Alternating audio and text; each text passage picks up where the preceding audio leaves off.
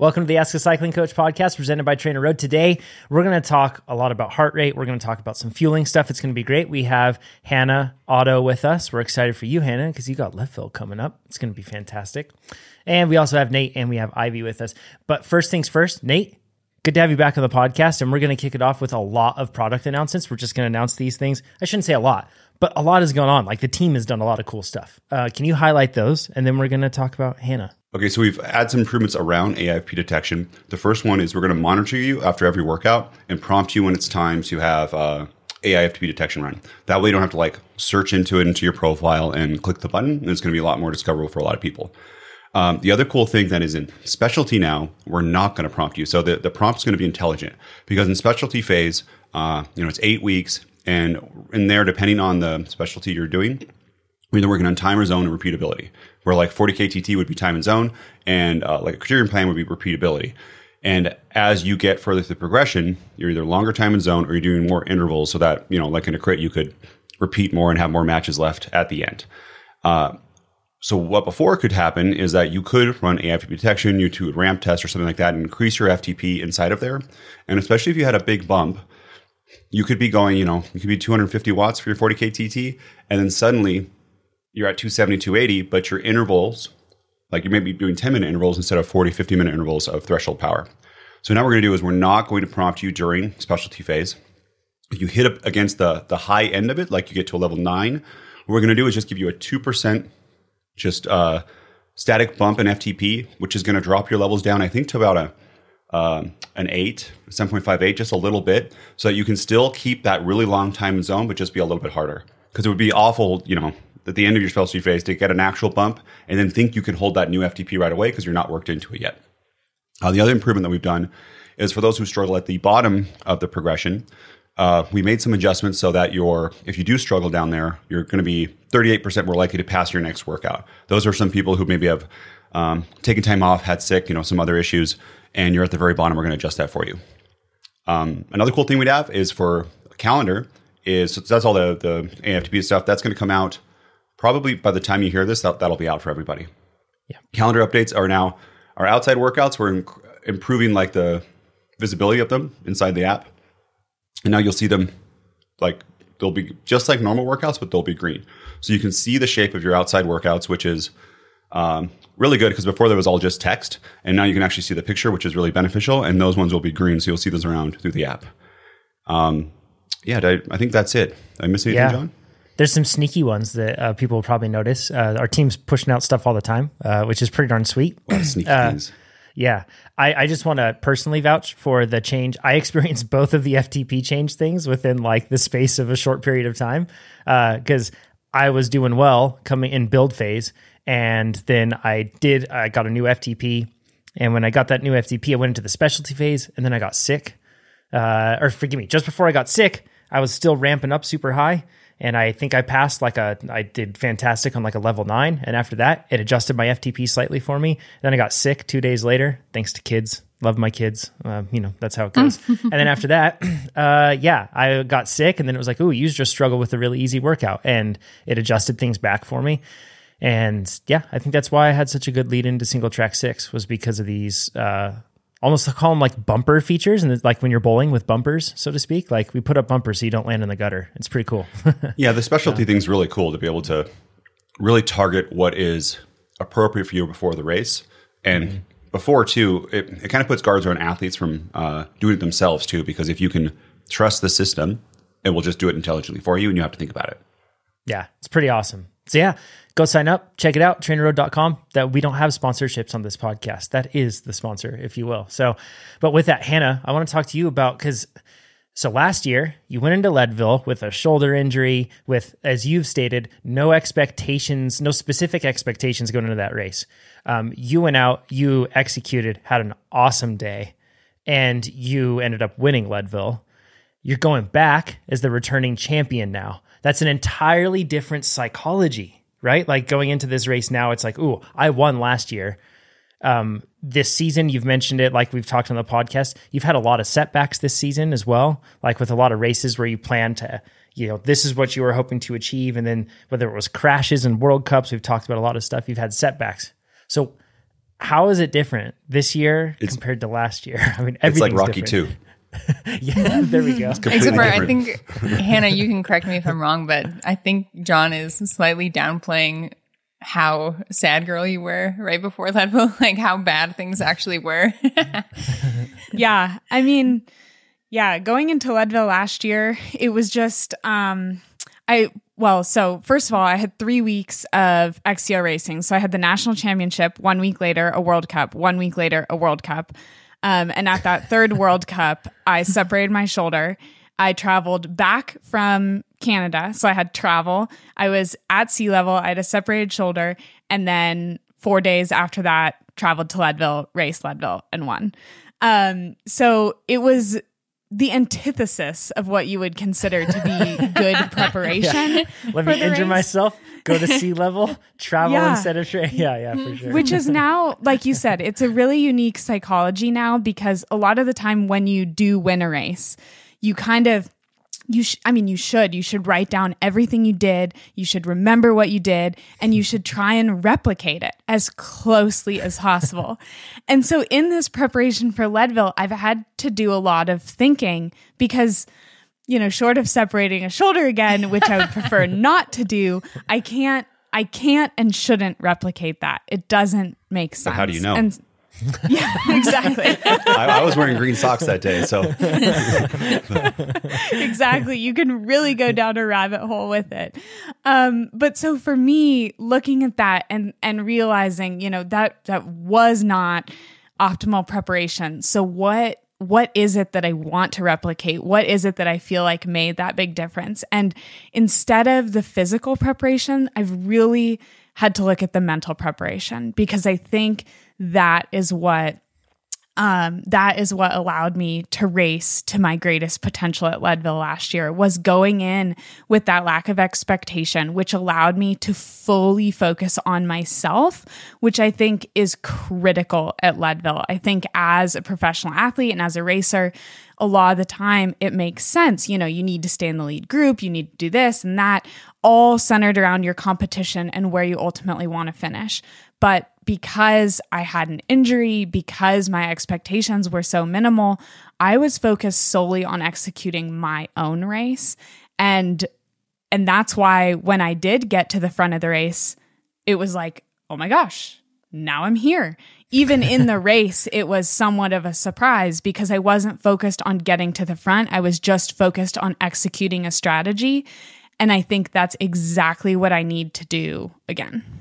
When you I- said that the expectations, I, I would. You said no expectations, but I think maybe you had low expectations, right? You're actually like, "It, I'm not going to do well," so you just decided to do that. Is that true, or were you just like, "I don't know how I'm going to do"? Um, I think, I mean, I think as an athlete, if I line up, I always hope for something. And so it's hard to say that, you know, I was just not expecting anything. Um, but at the same time, I, I was, I was very focused on the moment. I think that's the biggest thing is I had expectation of myself in the moment, but I had no expectation of outcome. And so, you know, I, because of my shoulder, I didn't, I hadn't ridden the mountain bike at all. I didn't know how it would handle going down power line. And so when I started the race, I wasn't thinking about Columbine. I was thinking about, am I going to finish? Am I going to make it down power line? And so to have that mindset of, yeah. That's like everybody else. You're just like one of the. well, I think it's a One of the great. I think it's an excellent lesson for that is to to break up this course into these chunks that are manageable because I started with that mindset where I made it down power line and it was like, oh, I finished power line. Let's see if I can make it to Columbine. And then when I did actually get to the front of the race and the mindset shifted of, oh my gosh, I'm having a great day. I am going to finish and am I going to win? I still had that mindset of, okay, this is what it feels like to be winning Leadville at mile 75. I wonder what it feels like to be winning Leadville at mile 85. And to just take it in chunks like that, I think was critical to my success. That's one unique thing about Leadville is that it has very distinct chapters, right? Like and um, that if you take that instead of thinking of all the chapters ahead in the book, but instead you just are focusing on the chapter that you're in right now, that really it's huge. Have you have you all noticed that Ivy? Like your best races, when you think back in your mind, your best races. Every time I've had a good race, it is absolutely marked by me being very extra present, like in the moment. I'm not thinking about before or after. I'm just so very much aware of what's going on in that moment. Yeah, and actually thinking about Hannah's not ideal preparation and Nate talking about duplicating it. One of the biggest crits I won, uh, my bike got lost in transit and I had to borrow somebody else's and put their shoes on that were five sizes too big and just lace them up tight. And I was like, well, here you go. And I think because there was like nothing to lose and, you know, I felt like I, um, any plan or strategy that I had, like it didn't really matter because I was just trying to deal with this setback. Um, I was so present and thinking so clearly and caught the race winning break and won from the sprint. And like, um, the more I race now, the more I'm kind of connecting that, uh, the, the least number of distractions, the more things we can control going into the race, or the more things that we're sure of, apparently, whether they're good or bad, as long as we're sure and not second guessing it, the more space I have to think about what's going on in the race and what my strategy should be and how I should react to things, you know? At a much lower level, much lower level, I won my first Cat 3 race. And I remember there's no expectation, or there's no pressure. That was the thing. And I remember people in the parking lot before were telling me like how not to get dropped from the crit. and then Here's what uh, to do. Yeah. exactly. Like watch out for this surge and all that. And uh, yeah, it was nice because I could do anything, right? I just it didn't really matter, and I didn't have a really strategy to win. I just went how it. Uh, I rode how the race turned out. Uh, Hannah, I have a question for you too, though.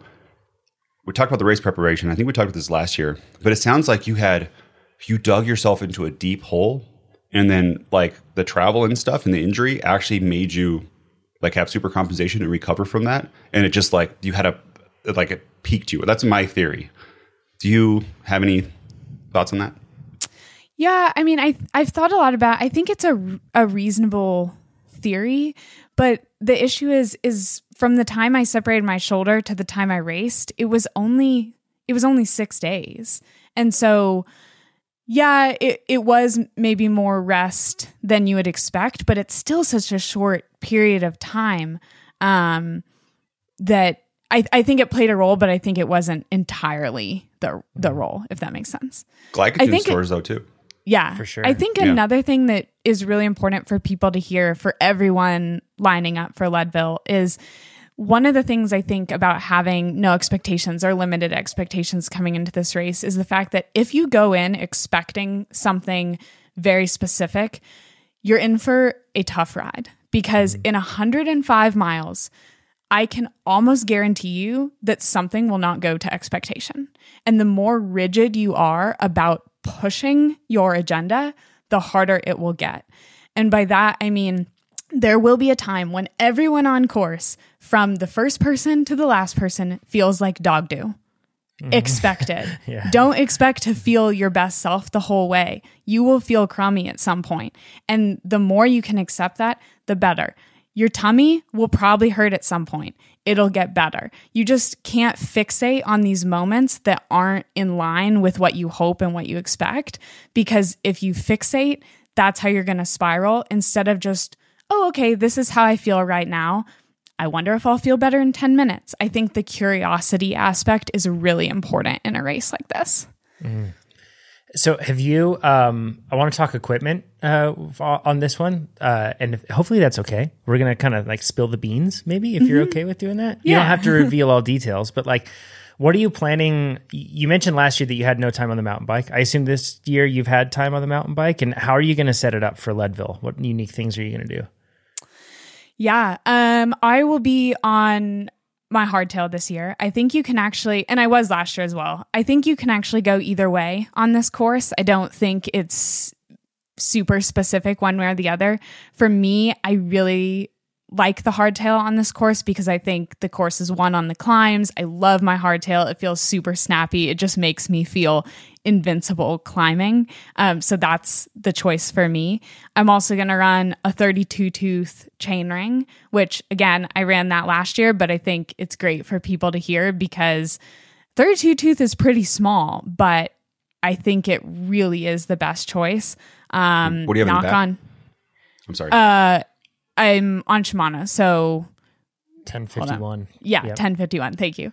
Um so I think I think it's important for people to hear because on the flats a lot of people want to run a bigger ring, but I can put it in the 10 and not spin out. I've never had an issue and knock on wood I've never had to walk on Columbine or Powerline. So I think that it's nice for that. Um, I will run a dropper post. I think that's really important for comfort and confidence. And then uh, a unique thing that I've done at Leadville the last two years is it's actually the only race that I run a 2.2 tire, Oh yeah, so skinnier. Typically, you run a two three five or something, right? With, Mm-hmm. a 2.4. uh, hmm a two four. Which tire? Okay. The Kenda Rush 2.2. Are you going to run think too- inserts in there? yeah, good. I will not. Um, it is a little bit risky not to because there's, especially on power line, I'll admit, like you feel a little bit of those nerves because there's plenty of places you can hit just right or just wrong.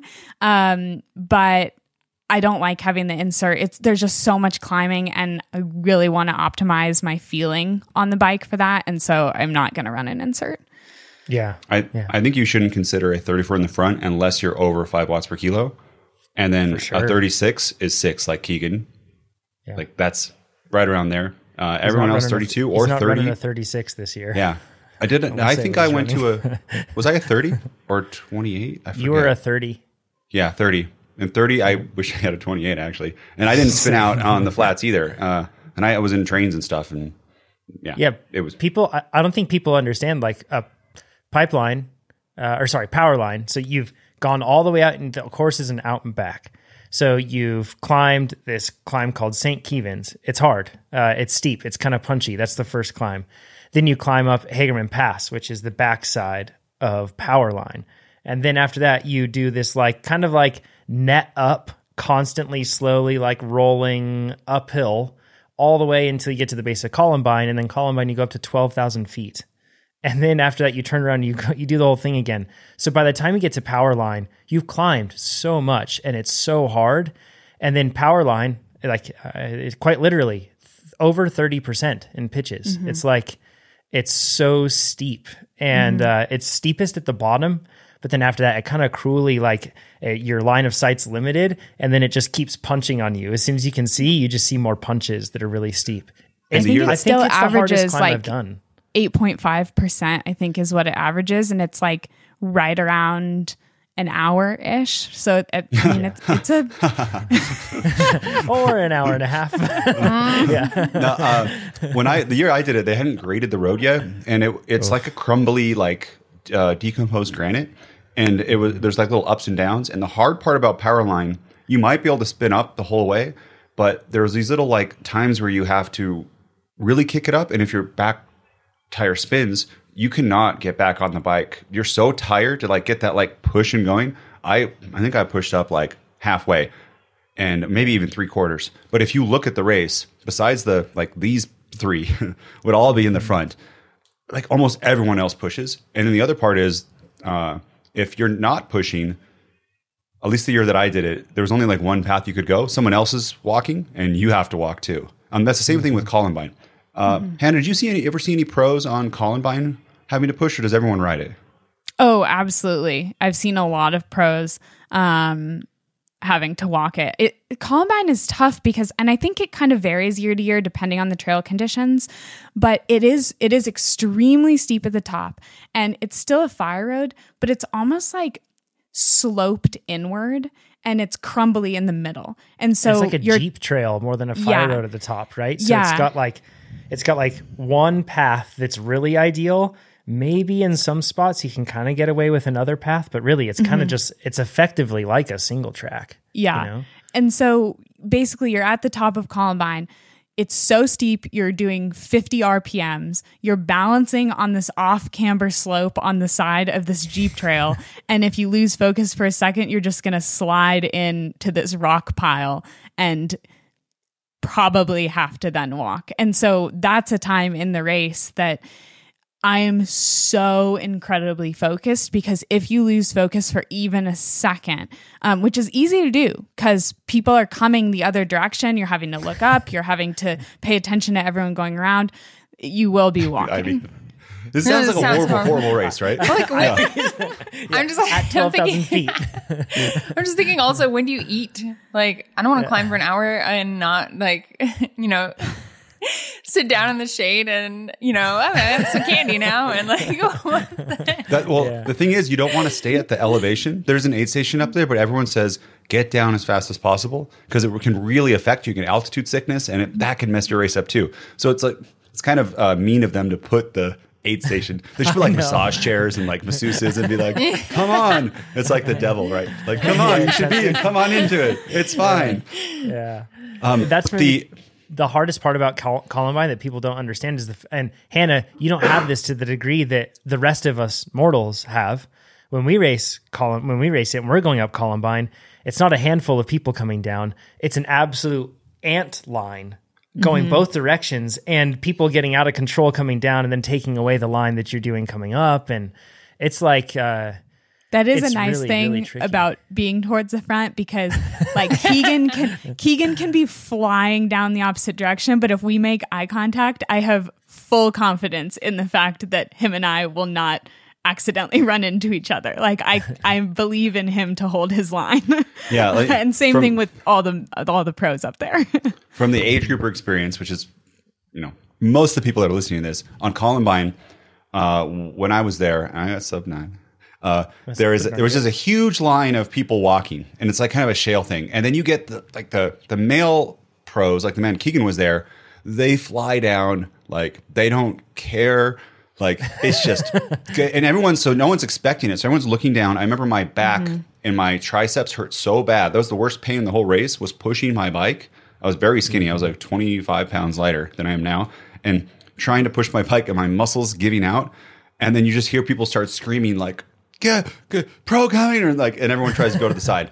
And then what happens is some really good bike handler who didn't go very fast tries to ride up and will yell at the 45 people yes. like get out of my way i gotta get back we're not we have nowhere to go uh, or they'll try to come around onto where the pros are coming down so you have someone coming down at like 35 40 and someone else going up in a line of like people just trying to survive and pushing it i have not heard of any like big huge um, crashes there. But if you're in that race, like pay attention, look up, and get to the side because it, it, you know, and when you're going down too, watch out. But by the time age groupers go down, it's so there's such a big um, uh, train of people coming, like every you know 10, 15 seconds. But at the beginning, you know, there's Keegan, and then you wait like 10 minutes, right? So you forget, and then somebody else comes down. Uh, even the pro women, when when you get there, it's there's still gaps, but they're not as uh they're not as big as those first ones. Yeah. So, uh, a, couple other questions too. Are you doing anything else unique to your bike for Leadville? A lot of people change stuff for aerodynamic reasons or comfort reasons because it's so long. Like, are you going to have a separate spot to grab, like further inboard on your handlebars? And are you going to use tape there or something or anything like that? I'm not. Um, last year on the way back on pipeline, I did do the tuck with my hands next to the stem, but I didn't change anything for that. I just, it's pretty comfortable position for me already. I mean, comfortable is relative, right? Um, but as long as you've trained it and practiced in that position, I think, I think it's okay. And what about What about- nutrition? Yeah. Sorry, you got it all, John. I'll just let you take it. Same page. Look at us. Yeah. yeah. So I think nutrition is probably the most important part of Leadville. Um, I think I'll go on record saying that because if you're, I mean, all of everything we just talked about, right? Like you're balancing, you're trying to navigate other people, you're walking, you're like, imagine doing all of that, but when you're bonking, it's impossible. and so when I, when I At actually, ten thousand feet too. Like, Yeah, exactly. And hot. exactly. you Yeah. just don't work well. I mean, I No. like like you just kind of you're nerfed. You just, Yep. And so I think the food, and I say this because I think it's important for people to hear because I recommend it to everybody. At Leadville, I eat out of fear. And I think if that fear is motivating, it's a good thing. Um, and so, because it's the most miserable experience to be underfueled in conditions like that.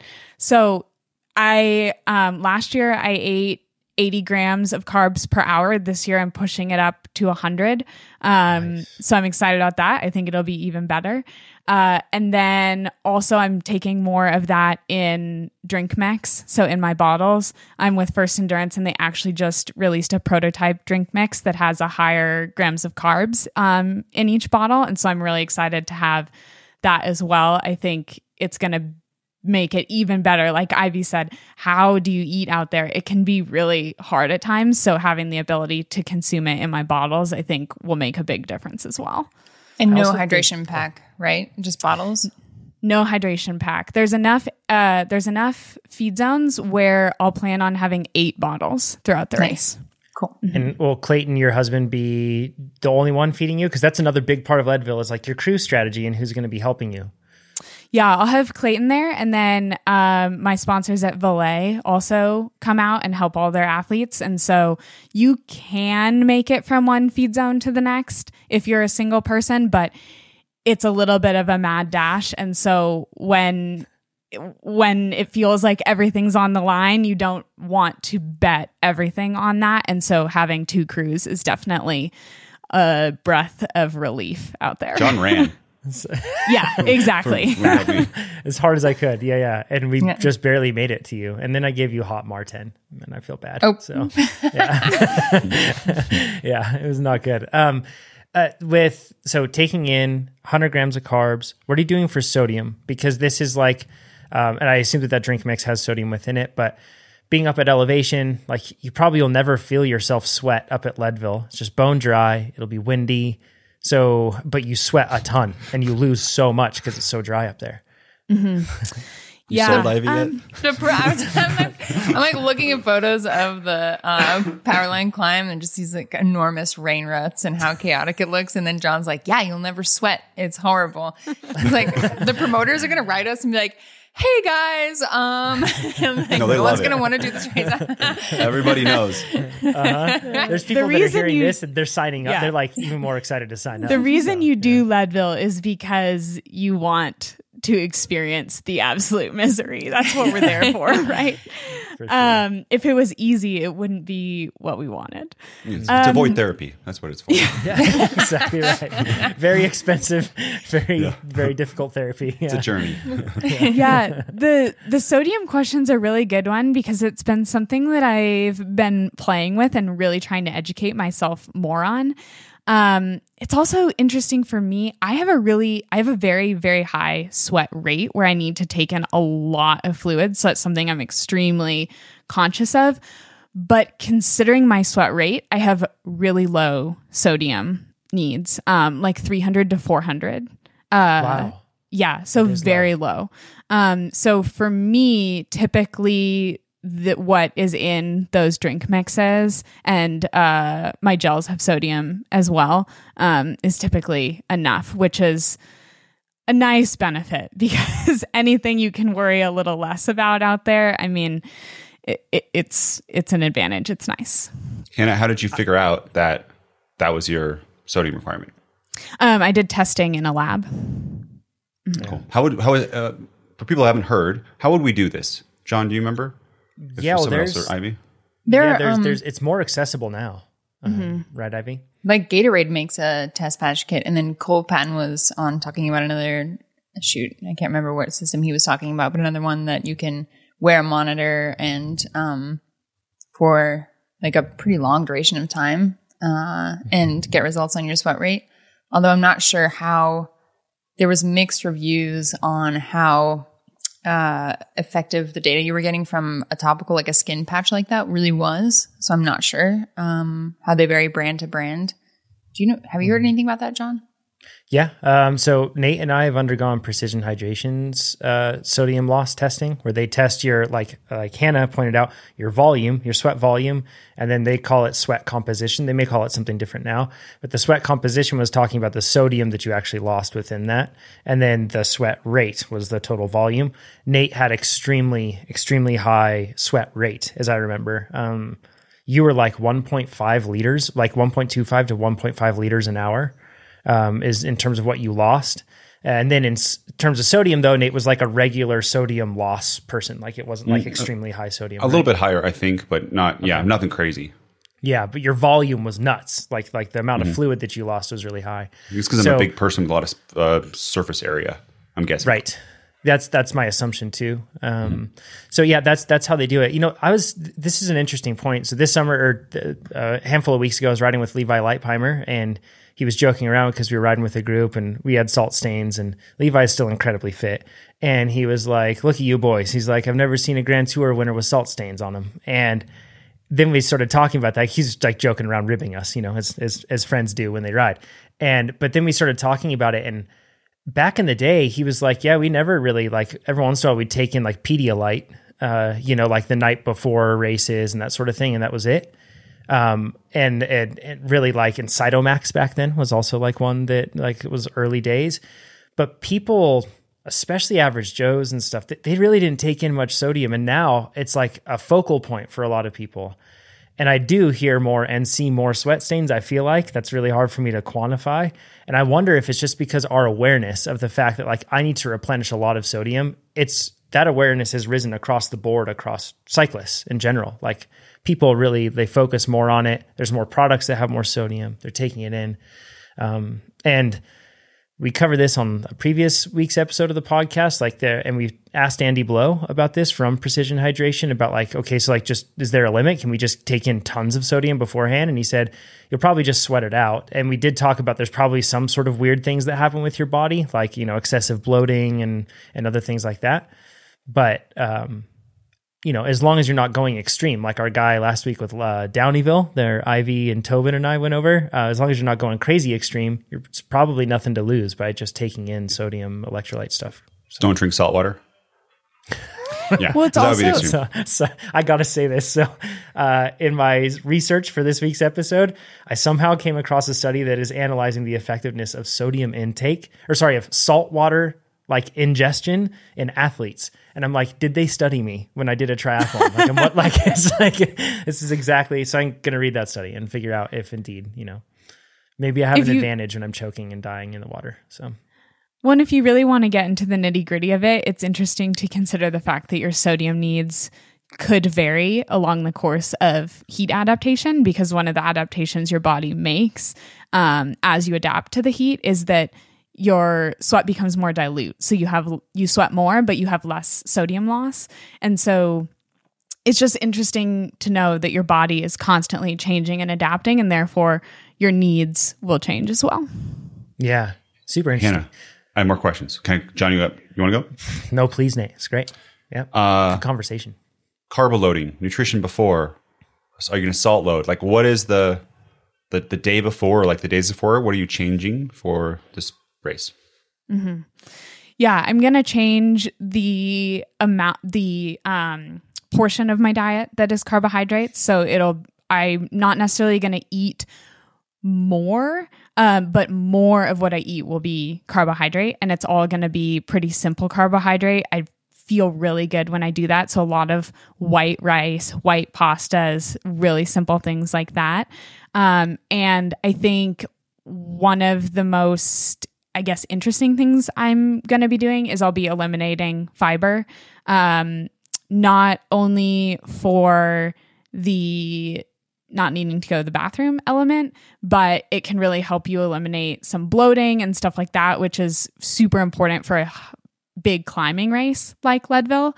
Um, and so, like looking at research and stuff, it's if you can do less than 10 grams of fiber in a day, that's really optimal for this type of lead in, um, which is really hard It's when you start hard. looking. Yeah, it's like you think, you know, considering the fact that a lot of the time we're looking for fiber rich foods and that seems hard, all of a sudden when you're trying to go under 10 grams, I look at granola, I'm like, oh my gosh, this is half my fiber for the day. It's hard for you guys, but for like regular Americans, it's not hard. Like, just get McDonald's three times a day, day. with zero grams. Yeah, Tendies and fries. Yeah.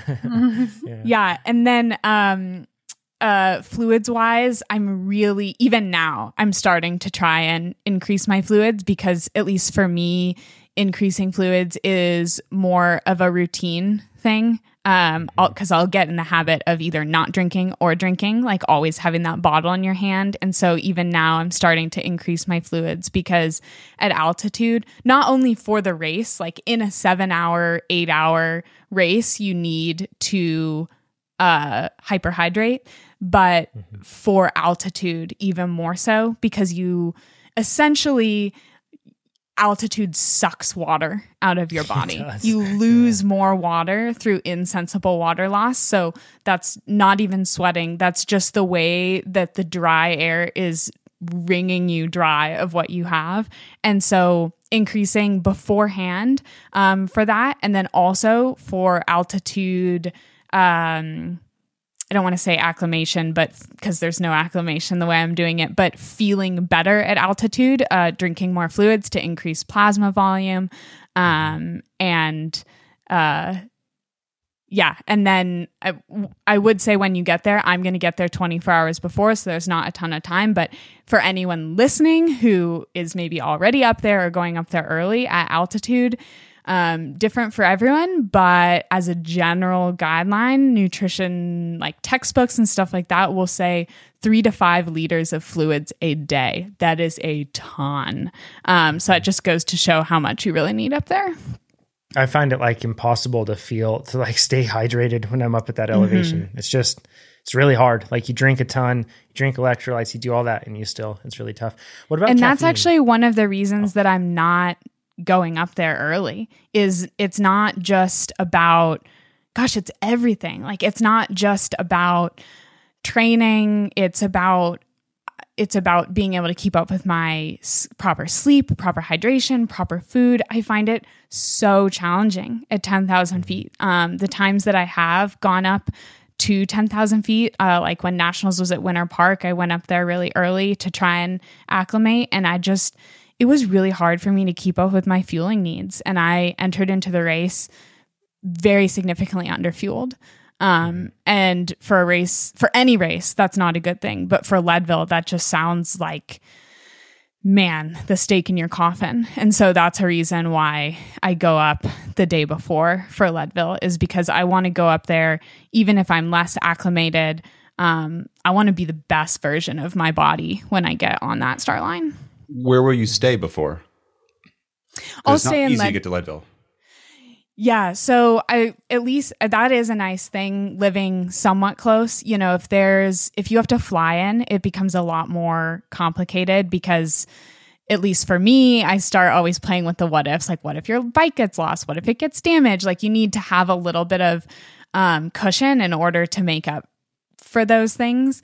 But for me, I'm going to drive in. It's a seven hour drive. And so, what I'll actually do is on Thursday, I'll leave Salt Lake. I'll drive about uh, four and a half hours to Grand Junction, which is the same altitude I live at at Salt Lake. And then on Friday, so the day before Leadville, I'll drive two and a half hours up to Leadville and get there less than 24 hours before the start. Yeah. And then on caffeine, what are you going to do um, for that? Considering the fact that like hydration is also so tricky and those two things really play together, are you changing your typical caffeine usage? That is a great question. And uh, I'm actually really surprised that you brought it up. But that's the one thing I'm still trying to decide. We're 10 days out and I don't know what my caffeine plan is.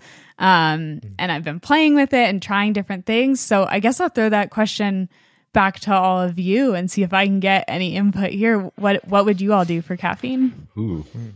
Uh, can I have your weight in kilograms? Is that okay or not? Like I don't know. Yeah, yeah. I I think I'm um I'm 119, so I think we said that's 54 kilograms.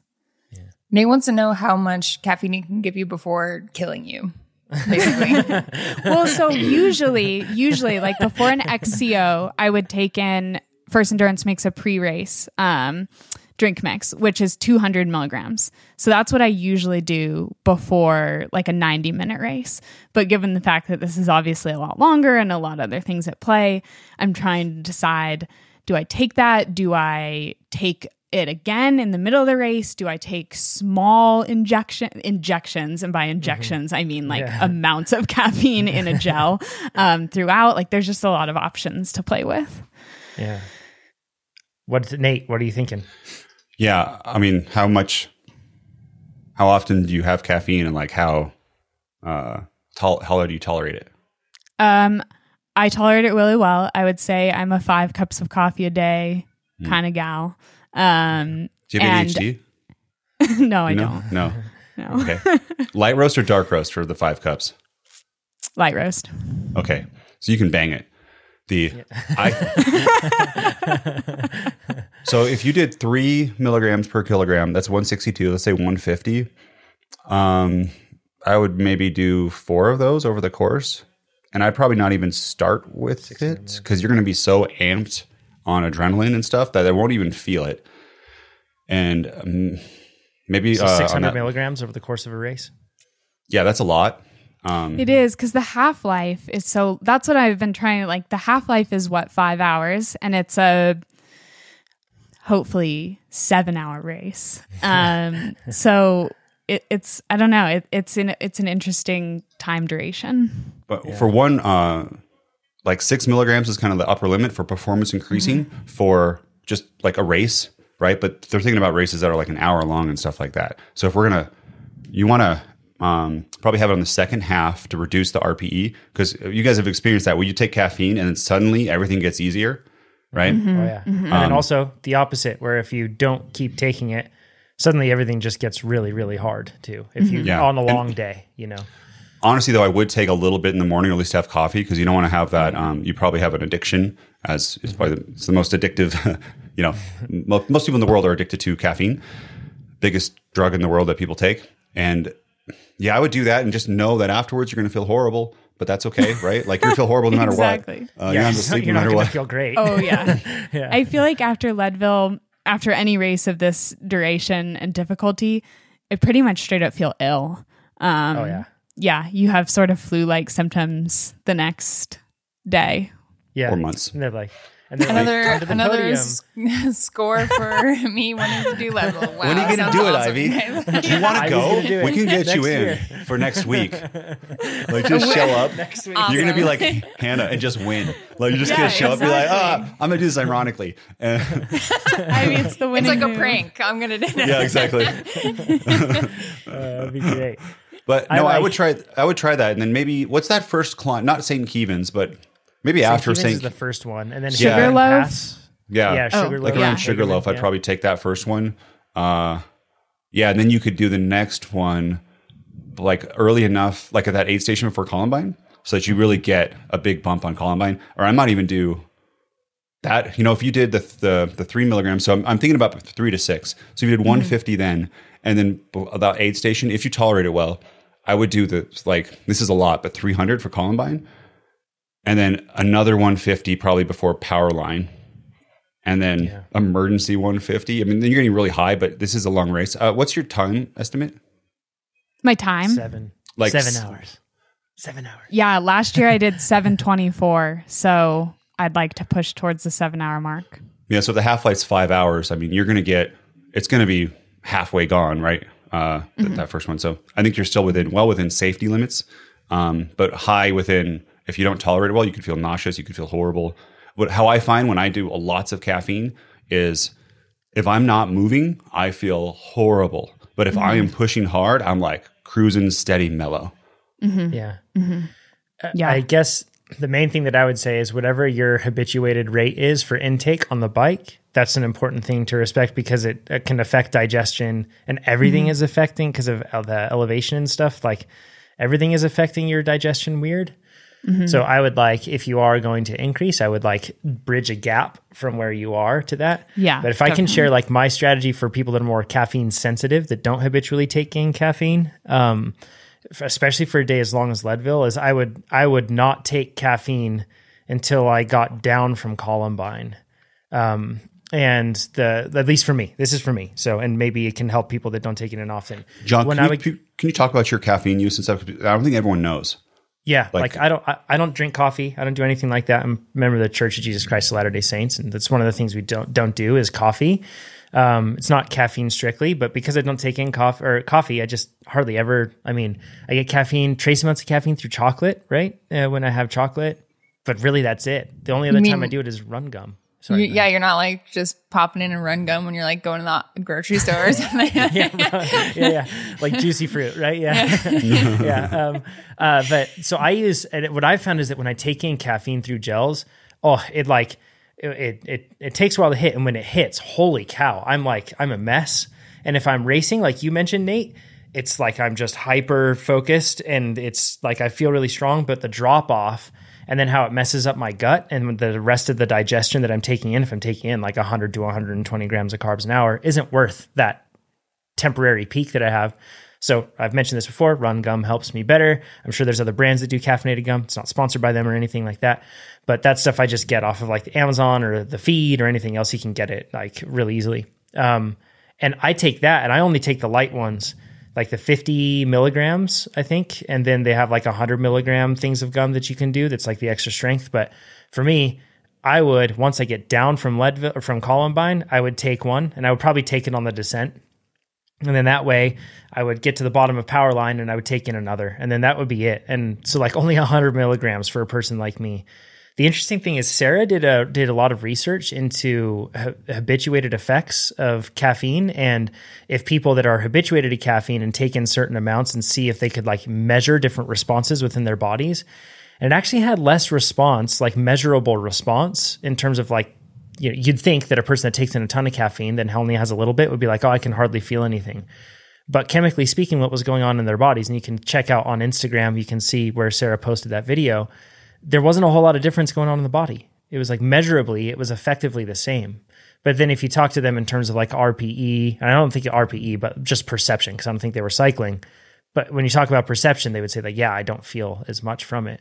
But boy, a little bit can go a long way, and a little bit or a little too much can ruin a race for me.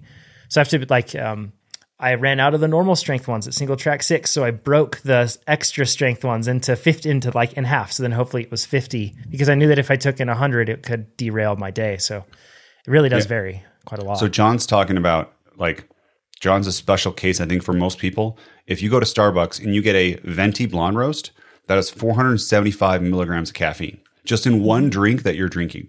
And I think a lot of people probably do that because I, you know, I tell Hannah like do 300 and people are like, oh my gosh.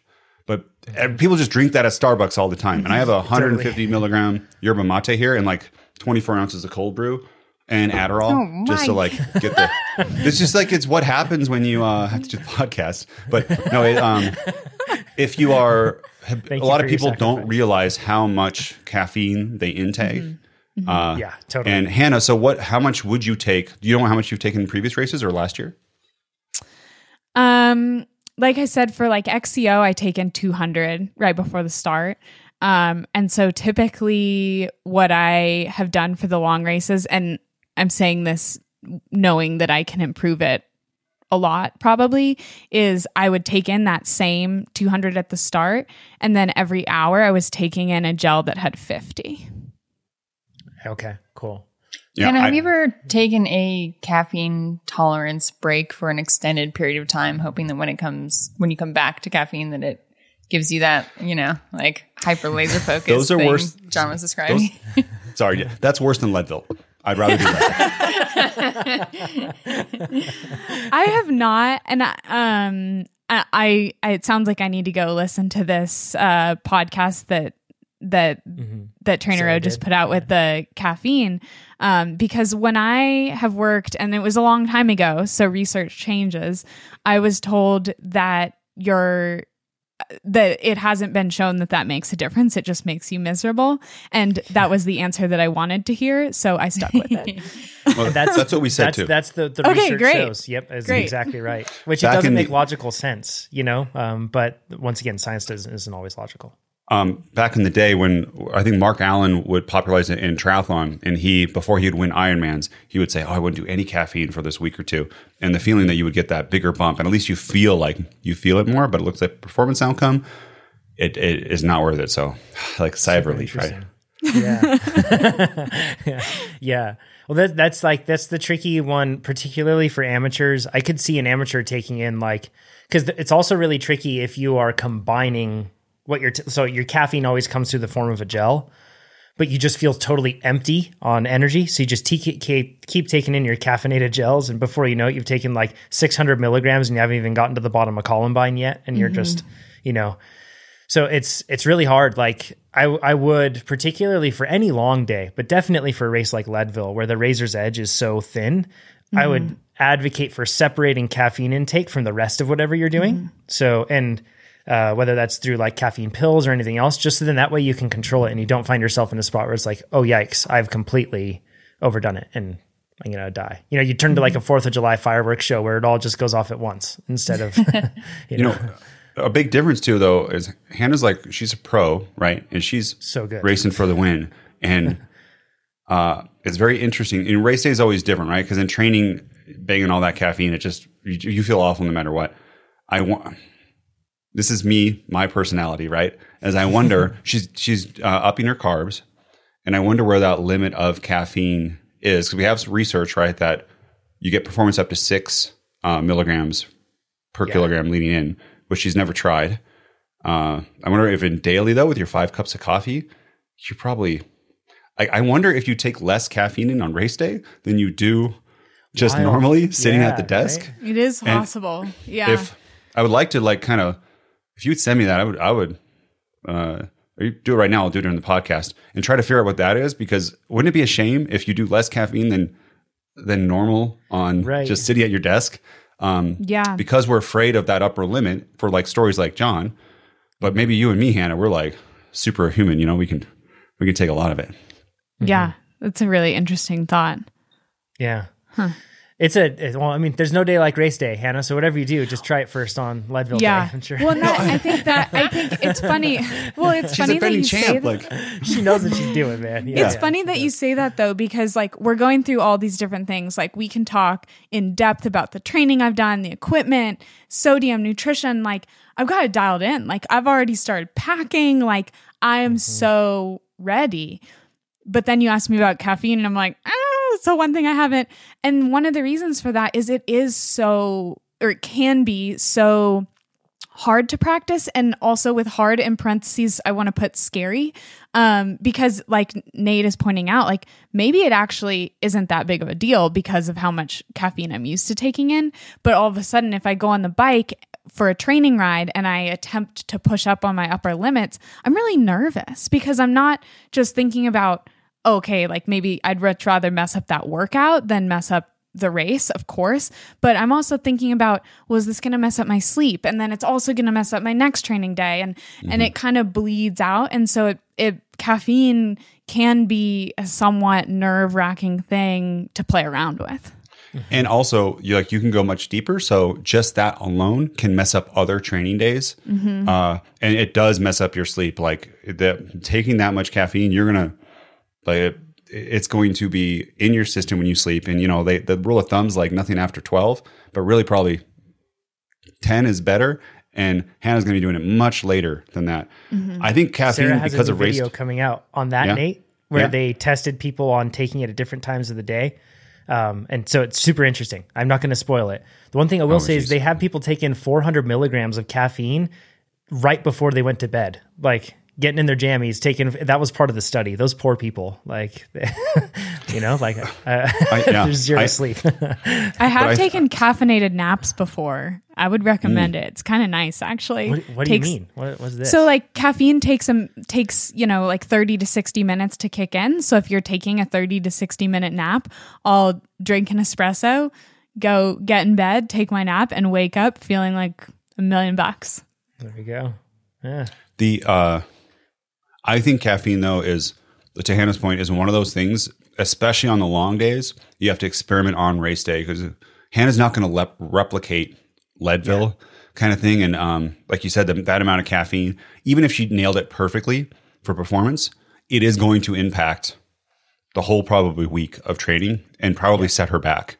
But on race day is race day, and um, I'm really interested about the what brand coffee do you drink in the morning? Is it like a K cup or is it what? What is it?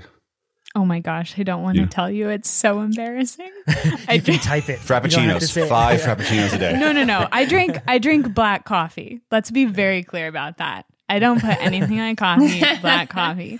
Um, but There's no embarrassment just- for a drink. no, no, no. That's not embarrassing. The embarrassment is that we're we're not we're not fancy over here. We drink uh, Dunkin' Donuts That's great. Yeah. ground coffee.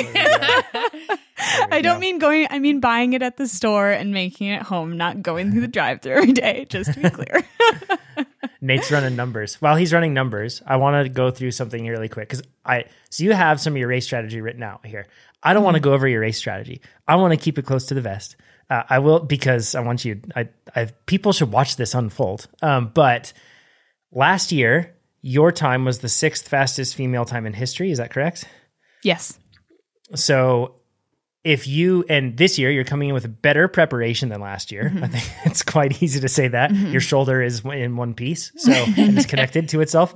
Uh, so if you can beat that, that puts you in a spot where you are going to be at the front. I feel like, um, you know, just judging on odds historically, looking at that.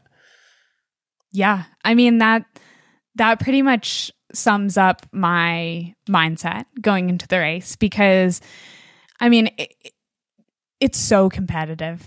If you start going down the rabbit hole of each individual that could have a great day, it's it's a lot. Like everyone there is so talented and so strong and it seems like putting in everything into this competition. And so if I start comparing myself to others, it's really nerve wracking because I don't know what where they're at, where they are at, um, and what their goals are. But what I keep going back on is while you could have a lot of pressure to try and defend, I'm removing that and instead trying to replace it with confidence in that I know what it's like to win this race. And I know that on my best day, on a perfect day, on a good day, I have what it takes to win. Mm-hmm. And I know that that's a really special emotion because there are plenty of races that I've done that I haven't won yet. And when I line up for those races, sometimes I'm racking my brain thinking, Am I missing something? Am I missing something about this course? Like, I just wish I knew the winning, what it t- takes to win this course. But for Leadville, I do know that. So whether or not it happens, we'll see. There's no knowing. Like I said, there's a million people who are strong there. But I know what it feels like to win. I know what a winning strategy can be there. And I know that based on my time, if I can replicate, I have a really good shot at doing it again. I'm thinking of this. Uh, I'm I'm just super excited for this. If you're racing Leadville, you will get to see Hannah on course. Everybody will at some point. so whether you get passed by Hannah uh, in the beginning or you'll see Hannah coming the other way because it's an out and back. So when you see Hannah, like super loud cheers, everybody. That's going to be because I know that tons of you that are racing that race are listening to this right now. So like super loud cheers, gas her up um, as she's going through and Can you hear Please, people? it actually makes a really big difference. yeah, can you hear them like both ways when there's like go Hannah? Oh, absolutely. Yeah. Yeah. yeah that's its own caffeine boost, right? Oh, it's amazing. Yeah. It's awesome. Um, do you is there a time that you ever don't want like fans come up and talk to you? Like maybe right before race? Just say good luck or something? Or is there a time that you're you you know what I mean? Or do you just love it all the time? by podcast fans, Hannah. What, what Nate's like prepping you for like yeah. No, No, but it's, I it's think a it- benefit, right? To be yeah. Yeah, I think it's great, especially a race like Leadville. You know, like on a World Cup start line, if someone comes up to me and tries to talk, I might be pretty laser focused and not really take it in because you do have to be so like in the moment there. But I think, like we just talked about at Leadville, being as calm as possible. There's nothing I'm going to do in the first 30 seconds of the race at Leadville that's going to allow me to win the race. So I mean, I think you can pretty much talk all the way up until they say go, and people are still talking on the roll out there. So, um, if you come up and talk to me, fantastic. I'd love to talk to you. Uh, let's keep it positive, though, huh? Yeah, good luck. Not like, oh, it's so scary, but this is going to be awesome. The, the, Yeah. To what uh, I felt guilty about in the past when someone would talk to me, even a friend or mostly podcast listeners, is I'd be getting ready and I'm always like late and frantic and I can't be completely present. I'm like, yeah, I'm like trying to pump up. Um, I, I want to hear them, but I'm going to miss the race if I don't do it. And they're always like kitted up, right? And just sitting there talking to me. my bike's still in my car. Um, So just be aware of that. Hannah might be doing something and not be able to be completely present, but she loves the, you can do both at the same time, you're saying. Yeah. Yeah, you're not annoying her. Uh, John, you want to say something? And I have the results of the caffeine. They are shocking. Good. Yeah. So Jeez. final final call, please, everybody, start that race safe. Um, like Oh, the uh, first level has a neutral rollout that goes downhill. It's sketchy. Don't go fast. Just chill. Don't try to pass anybody. It is such a long day. I promise you, you'll end up where you need to be and where you belong. Like it's okay. Yeah. Like don't uh, everybody. If everybody listening to this, maybe makes this imp- this effort to make it safe and chill and not crazy, will probably save multiple people's days. Because it happens. Like people have trained for years. Like we've talked to so many people that on like successful athletes podcasts and everything else that dedicate years of their life to training for this. And then uh, quite a few people crash out in that start because there's somebody that's trying to make a sketchy move to get around somebody or they're panicking and trying to get ahead because you feel like the race started to have a lot of nerves, a lot of anticipation, and you're not going as hard as you can right now. So I can move up. It's not the time to do it. Just no be- one's going as hard as they can. yeah. Be safe, everybody. And then you'll have an Yeah. awesome day. I promise. Like just just be safe. Don't- Yeah, I just want to add to that. I think it's I cannot emphasize that enough. Like it just it's so unnecessary and I do remember that last year everyone going so hard and the second it turns uphill it's all going to sort itself out anyways. so whatever advantage you get in that time doesn't make a difference. Last year going into the first climb, I was the 15th woman. Um, and by the time we summited, I was third. So it's it's it's gonna work itself out very simply. There's no reason to make sketchy passes. Like there's some bridges and cattle guards and stuff. And I remember people getting pushed over the edge. Just don't. It's just not. It's just not that important. Um, those first 10, 15 minutes. And one last cue. Don't pass the pros. If you see the pros, just don't get ahead of them. Like there's there's no point. Like like they're They're there and it's you. their job, right? And they're gonna beat you. So like just don't pass them. If you see them, sit behind them. Like poor Sarah Sturm, when I did it, she was with me and she's like a pro trying to race and she's so small that like all these big guys are like, oh, that's a spot I can fill. And you know, and they were just like moving right into her space constantly. So just don't pass the pros. If you see the pros, sit behind them. Let them let them race and let them do their job. So yeah, that's my those are my It's called being a pass hole. And Yeah, yeah. what happens is on Don't be that. Uh, well, so I was in the purple corral, I think that's behind red. And a lot of you listening, I'm sure you're in a corral that is way slower than you should be in. And when you get to St. Kevin's at the back, it is completely covered. But there are some people who have started back too far and they feel they need to catch a group up ahead and they will, uh, you know, like go off the trail. They'll kind of shoulder people, they'll go off the trail and then it kind of gets pinched and they'll push people over. yell at people to go faster when it's like a Yeah, endless come traffic on, jam come ahead of them. yeah, because every the, the most people are really holding back on purpose on that. So if someone's going like, you know, if they're 4.5 watts per kilo and they're they're climbing at three, you might be trying to climb at five uh, because you think you got to be in this other place. One that's going to be horrible for your race. Uh, there are so many groups that you're going to be able to catch it in the future but you can knock people off you can walk and that's really hard also to start the St. Kevin's again because it is so like swarm with people. Just it, it's don't be that person. And i think i saw like four people doing that. It- it's it's not worth it And let me mm. give you a pro tip. If you're yelling at people, tip. yeah, if you're yelling at people and telling them to hurry up or move faster, that just tells me if I if someone does that to me and I hear that, my first thought is you are burning calories, you are never getting back, and I'm for sure going to beat you. so, if you open your mouth, you're just exposing yourself that you're way too bent out of shape to mm. survive this duration of a race. Yes, agreed. hannah All right, okay, now that we've got all that out of the way, everyone's gonna have a safe and happy race. Nate, go ahead. uh hannah do you have your mug with you i want to see how big this thing is your coffee mug so that's that's actually pretty big you know maybe that's 16 ounce No. I have no idea. 14 ounce That, that looks like a 12 ouncer. Twelve Okay. ounce is what I'd say. Yeah. Uh, we can measure later. But the uh, so Dunkin' Donuts brewed coffee. This is from Caffeine Informer. For a 14 ounce, it is 210 milligrams. So if you did five of those a day, that would be 1,500 milligrams of caffeine. On race day, if you did 200 milligrams to start, and then you did a gel every hour for six hours, that would be 500 milligrams. So half the amount of caffeine you would normally take on a day, you do take for racing. So Nate, I mean, this I would. an epiphany moment. I wonder how many. I bet a lot of people are in this situation.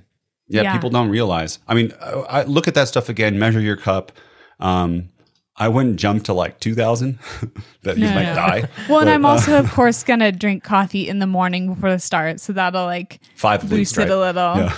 Um, but yeah, I mean that it's it's so good to think through things like that, and I think also like this little group. I think this goes to show talk things through with your friends because people are gonna see things from a different angle that you've never considered. Yeah. Lots of So thanks, me, Nate. Lots of caffeine. Yeah. Uh, so wait, that strategy. What I even said was 600 milligrams. That's even Mm-hmm. low too. I mean, it's tough. I also I also feel like when I take it with a pill, it is a different feeling than with coffee.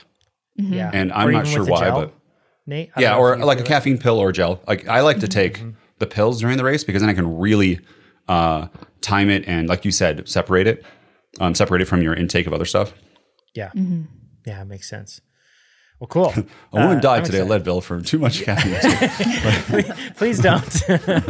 yeah. Anybody listening to this too, uh, approach it with caution and bridge with little steps from where you're at, whatever it might be. Yeah, But now I- I'm questioning where you're at might be 2,500 milligrams of caffeine a day because of all the coffee you might drink. So I'm kind of scared. But, anyways, yeah.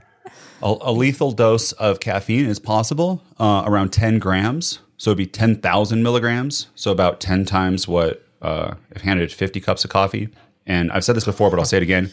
Don't ever buy powdered caffeine to scoop it yourself. That's where it happens, where somebody, um, it's so easy to have that uh, transpose Mix a- up milligrams a and grams, right? Like, Yep, yeah, and you scoop it in. And then you die. It's very hard though to take like what would it be like fifty pills of one hundred mil like that's or not fifty. Oh, whatever it is.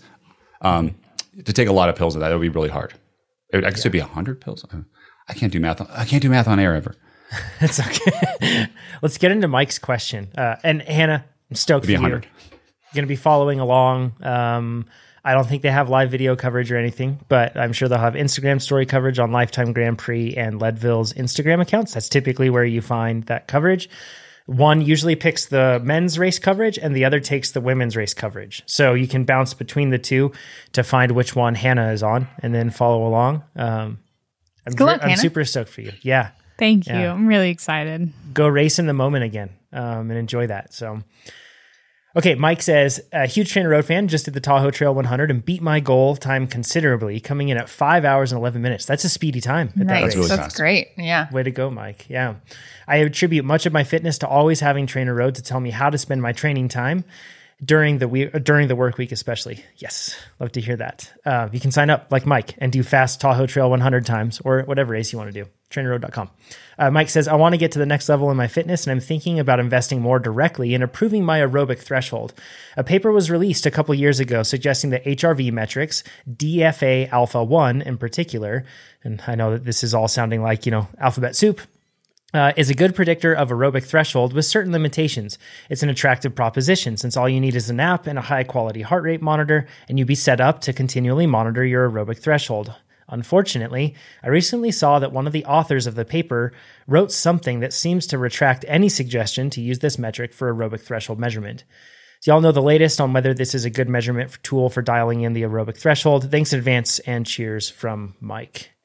Can I Um, first describe what HRV is? I think maybe it's been a while, and I think some people, yeah. So It's what hard to HRV is? understand. Yeah. Yeah, it is. Um, so HRV, heart rate variability, it is not how many beats per minute and how often that changes. As that's what I think the what you would think of is like how quickly do I get from like 90 to 150 and then back down, recover. It what it is is it's the time between beats, how often those change.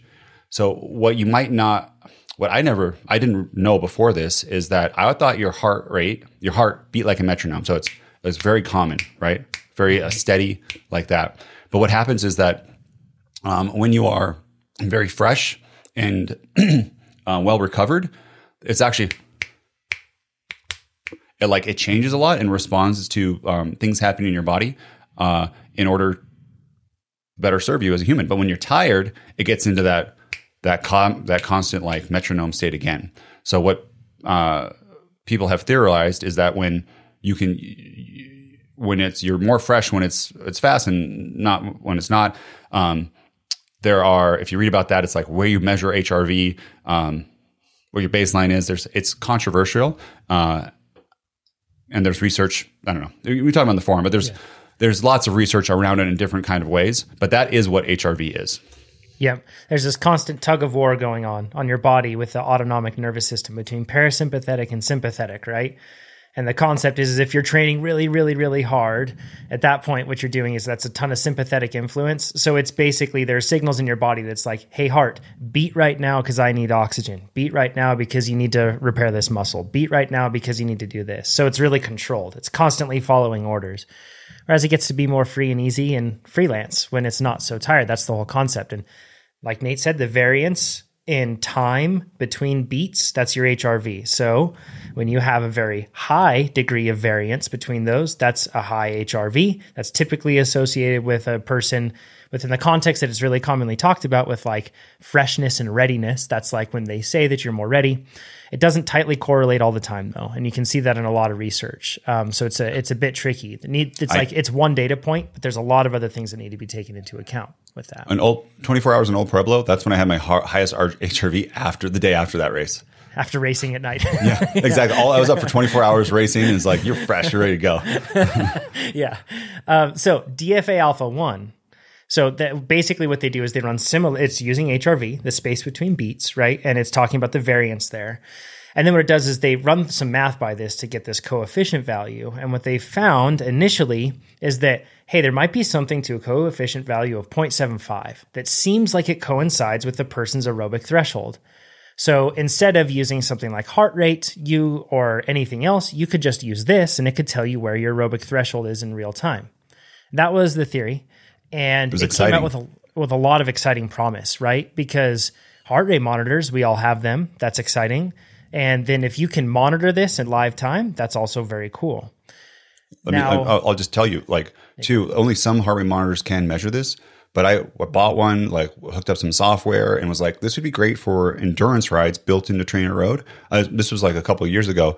Um, because it would be great to be able to measure that live on the bike and then adjust your power based on this number. And that was like, oh, this could be the new thing. Um, mm-hmm. But again, it was brand new. Uh, you know, this John's going to talk about it. This is the yeah. cool thing about science with this with this researcher did, did. But go go ahead, John. Yeah. So and here's the thing. So this whole premise is that if this coefficient value is at 0.75 and that's roughly where your aerobic threshold is that then they could see if you are above or below that that that would define things what they found though is that this 0.75 thing number one uh, it wasn't consistent in the data. And actually, there's some research, and there's there's a great paper that we'll link to. Um, that's just like it's not a research paper, but it's just a written out blog post by Marco Altini, and he goes through this and he says like um, this is something I was a huge proponent of after experimentation with myself and after seeing more studies coming out on it. I can't recommend it. And he was actually looking at some studies where um, there were some. This is always really tricky. Nate, you're good at stats and that sort of thing. Um, better than me, certainly um, when you have data where like everyone's kind of like in a closely closely grouped and if you were to plot them on a on a chart they would be closely grouped. But then there's two outliers that stand really far apart. Those outliers can really change the slope of the line that you're looking at when you're looking at something being plotted even though there's tons in the center. Those two can kind of drag things out and what Altini found in this one in particular, the one that I'm mentioning here, but there are others that have also pointed out that 0.75 doesn't correlate, is that if you take away those outliers, there isn't a tight correlation to 0.75. And that's where, and this is where if it doesn't tightly correlate to 0.75, then it's tricky to argue that this is any more specific or beneficial than any other measure that we have to figure out aerobic threshold. But then perhaps the most tricky part, Nate, you alluded to the fact that not a lot of heart rate monitors can measure uh, DFA alpha 1 particularly when we're talking about doing it not in a lab. And then even more particularly when we're talking about doing it in circumstances that could alter heart rate readings very easily. Like heart rate monitors aren't perfect, and it's really tough to actually get something that could measure something like this.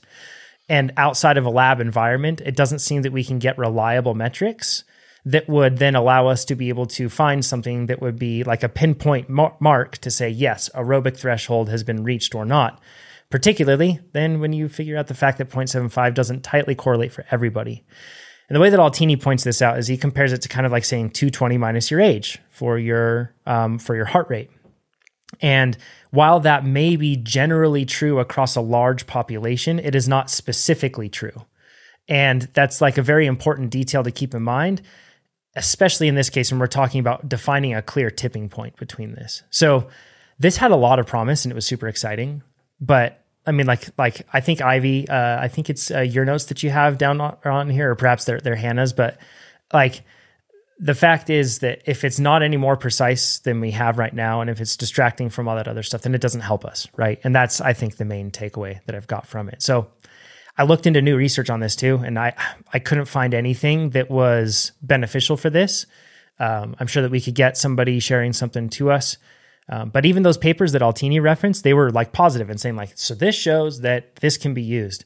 But if you look closer at the data, then the data doesn't show it. Um, so yeah, it's it's a it's a tricky topic for sure. So in the end, I think that this is this points to like the robustness of using power and the ease of being able to do that. And then especially when you have to like this is totally a plug for TrainerRoad here because it works. it's awesome. But AI FTP detection, when you don't even have to worry about the test and it's looking at this large body of data for you individually, it is going to come up with a specific point that is beneficial for training and how to anchor your training to it. It's that's the whole point. That's why it's so great and easy. It just takes care of it for you.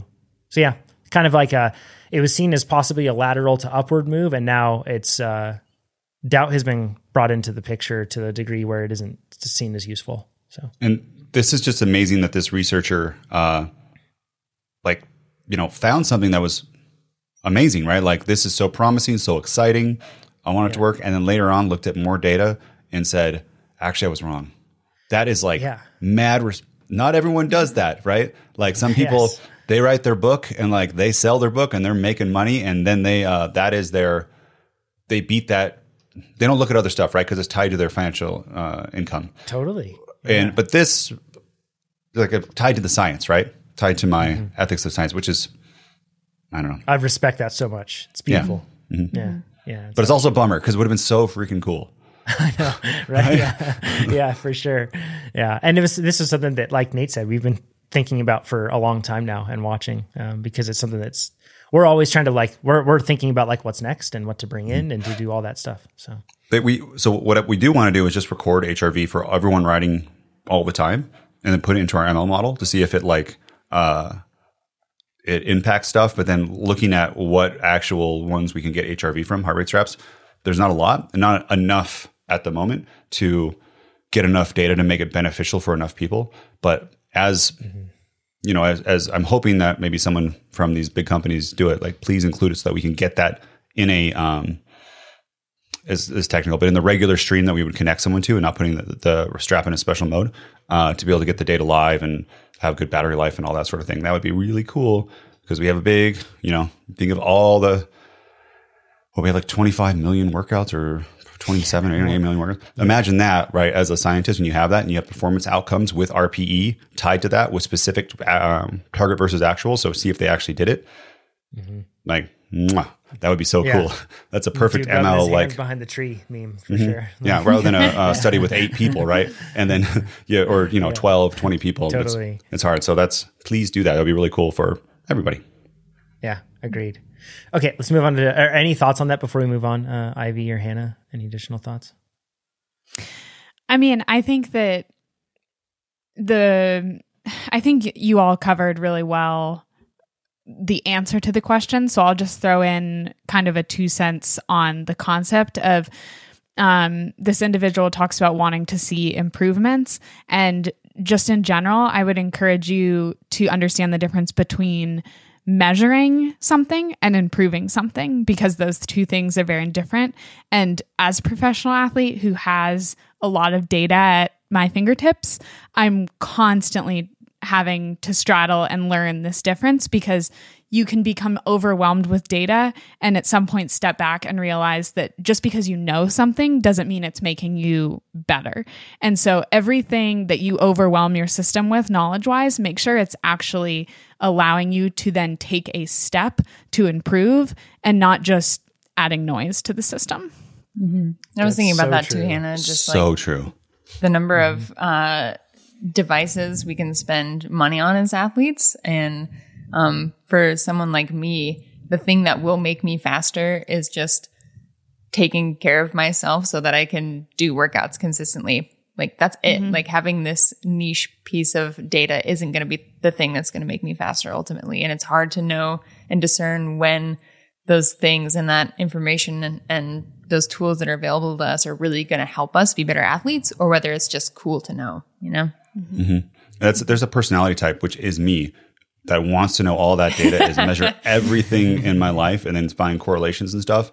And I know too, we get requests to show, you know, support all those things and show all of them. And uh, what what it does is it like it makes it harder to see what actually matters, is Hannah's point. and you can get caught up in things trying to chase. Um, I'm not going to say any metric because it'll be they'll start its own war. But um, you can get caught up on the stuff, right? That uh, doesn't matter. And hopefully, what you know, the things that are more complex, we put them in our uh, machine learning model so that we can. You don't have to understand all the nuance. You can just get the the benefit of it. Um, I also want to say that you know I said 25 million. I, I don't have the numbers right now. More than that for TrainerRoad app rides, but our database has 214 million, 214 million, 440,620 at the moment. It's going up. Um, workouts like rides and runs in our system, and that's because when people sync, they, we get their career, and what that allows us to do is get is really cool is get data before they use TrainerRoad, when they use TrainerRoad, if they pause ever and they come back, and we can get this really big uh, um, data map.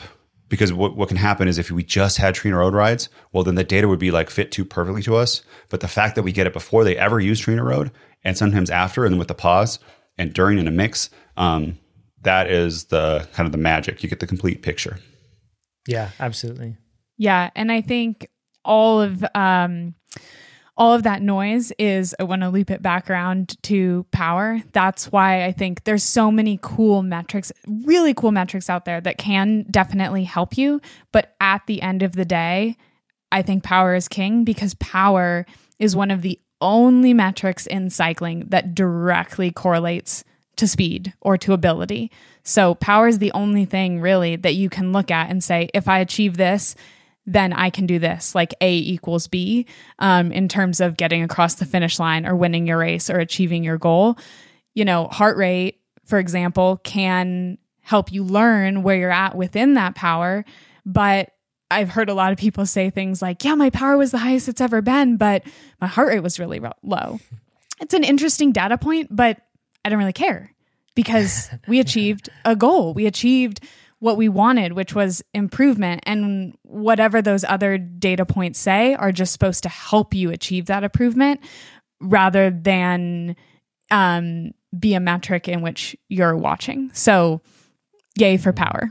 Yeah, amen. And and back to what Ivy said on this really quick.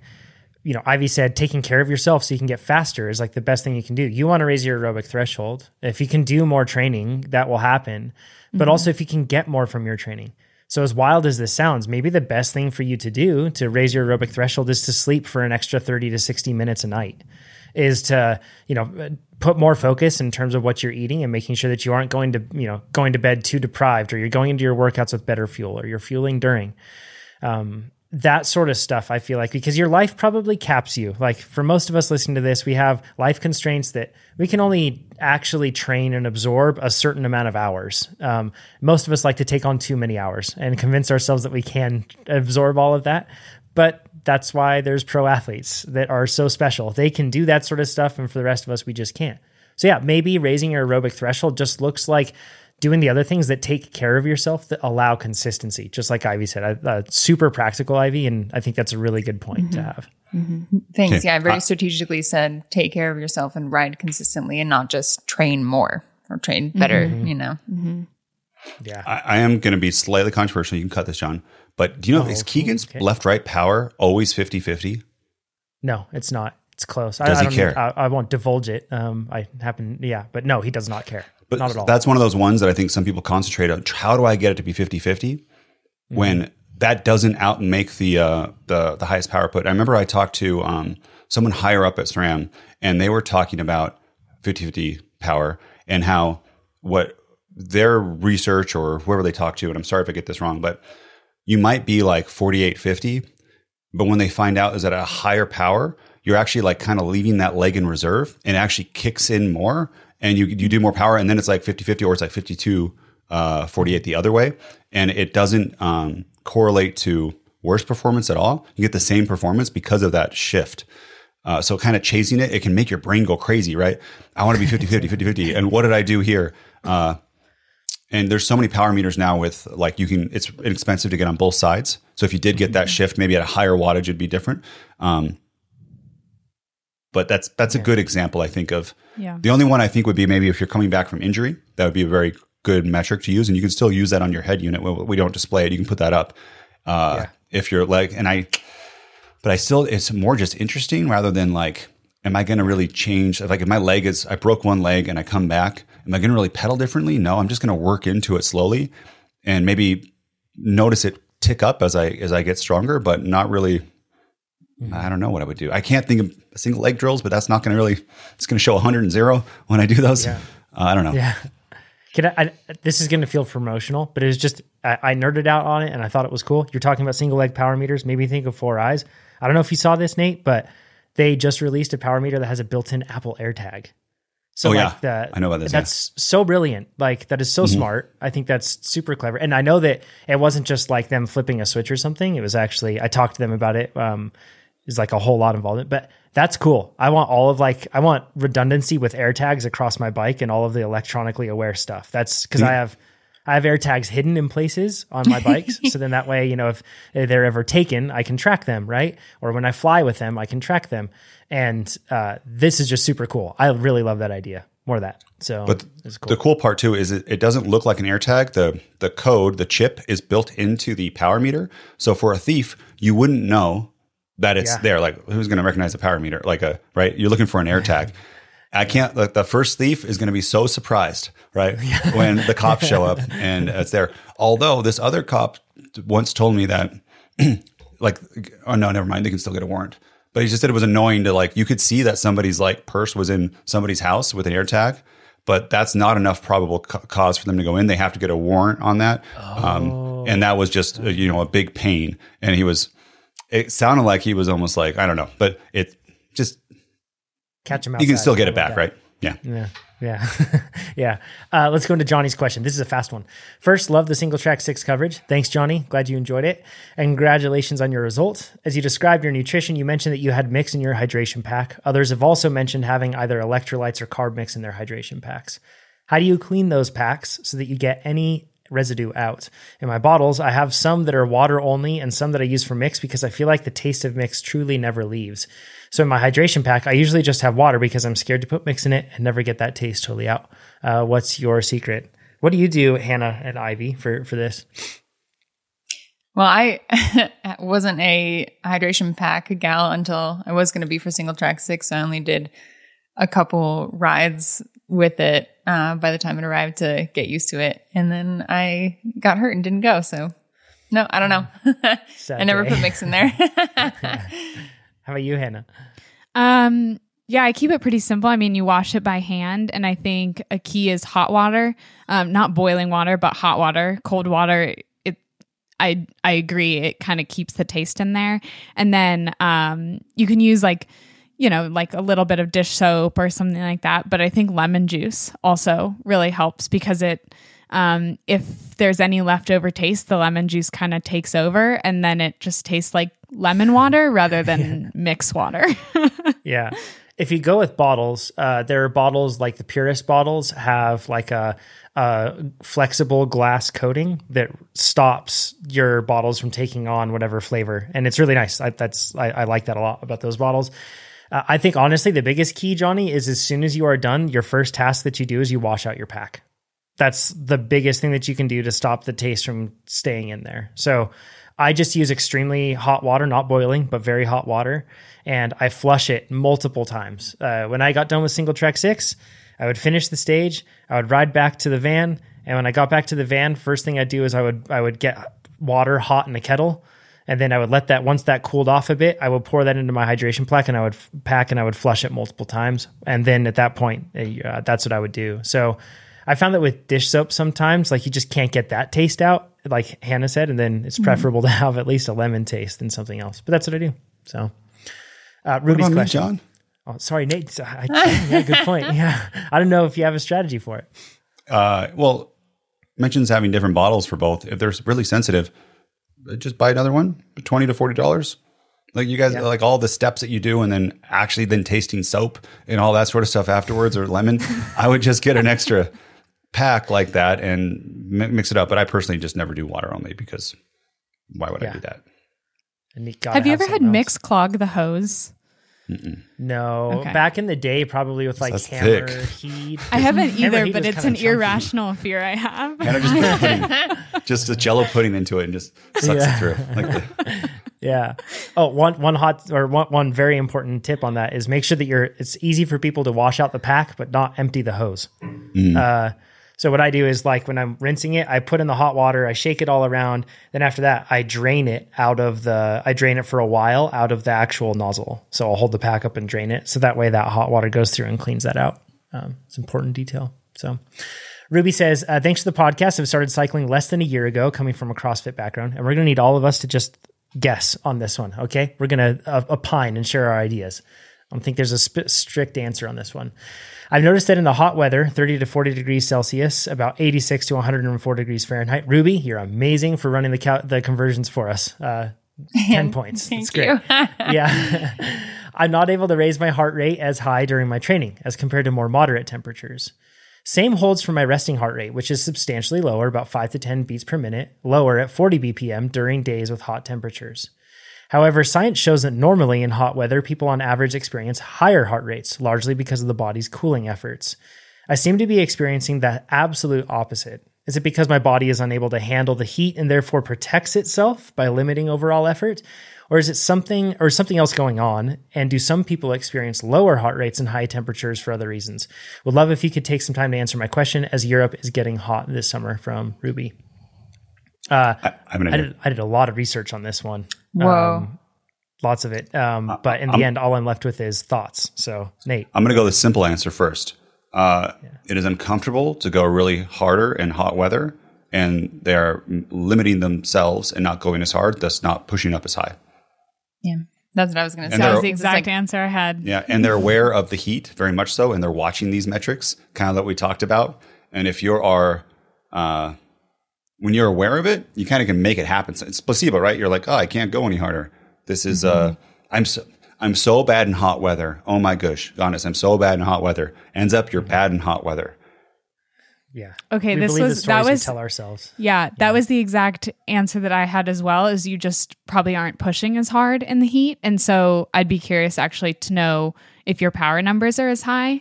Um, but then what I used to back up that theory was the fact that they said that their heart rate, their resting heart rate, was lower as well, um, because i- theoretically the heat shouldn't really influence your resting heart rate because resting heart rate is a sign of your abil- your body's ability to recover from one day to the next.